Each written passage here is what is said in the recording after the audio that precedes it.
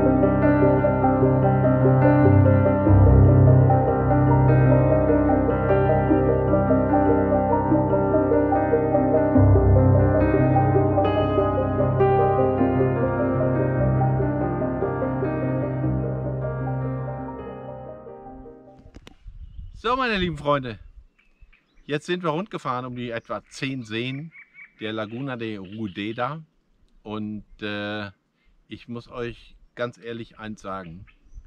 Ich habe, glaube ich, meinen Lieblingsplatz gefunden auf dieser Erde. Und äh, ich war so begeistert heute diesen ganzen Tag.